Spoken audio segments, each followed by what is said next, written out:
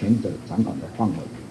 消防单位只负责消防设备的安全检查，建物合不合法则归公务局管，让业者找到机会以合法掩护非法。现在闹出人命，郑文灿则说重话：该拆就拆，该罚就罚。未来将针对全桃园市涉及公共使用的违建全面拆除。一场大火带走消防英雄的生命，也再度烧出消防制度缺陷以及违建公安的老问题。有没有人为疏失的责任？政府得一一清查。记者蔡仁一、吕奇、陈保罗桃园报道。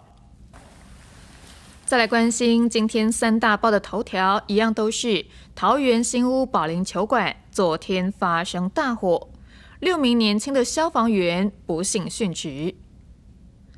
了解完报纸头条，再来关心台中清泉岗机场十九号发生了警匪枪战，四十五岁的张姓男子载着女儿骑机车到航空站，因为没有戴安全帽，遭到了航警盘查，结果发生扭打。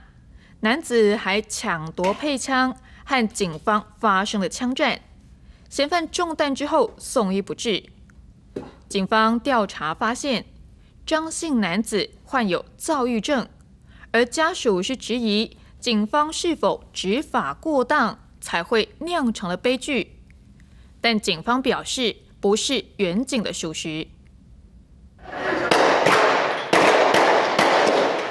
穿着风衣的四十五岁嫌犯张坤明抢到远警的配枪后，与警方发生激烈枪战，最后张坤明身中四枪，当场遭警方击毙。这场警匪枪战还波及无辜民众，一共造成一死两伤。目前民众回想当时状况，仍然心有余悸。我说跑过去想帮那个警察的时候，那个警察刚好他被他打到已经坐在地上的时候，我们跑过去，他刚好那个嫌犯已经蹲下一捡。只能那把枪。警方调查，张坤明患有躁郁症。十九日下午骑机车载着小四的女儿经过清泉岗机场，因为未戴安全帽被航警拦查，没想到双方却发生肢体冲突，进而发生枪战。对于警方的说法，家属仍有质疑，认为张男只是违规，远警是否有必要掏枪？另外，远警当时是否有言语上的刺激，才会导致张男失控？希望检方能查明真相。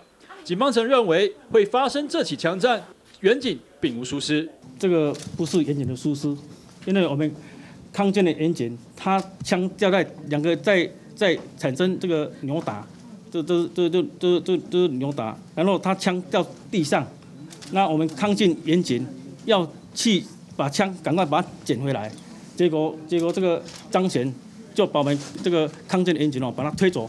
哦，把他推走，然后把那个枪抢走。目睹冲突枪战的张贤小女儿，得知父亲过世消息，仍然相当坚强。警方当天立即通知学校和社工照顾。台中市政府社会局则表示，将会介入辅导，就心灵创伤和生活经济两方面给予协助。记者邱子培、彭焕群台中报道。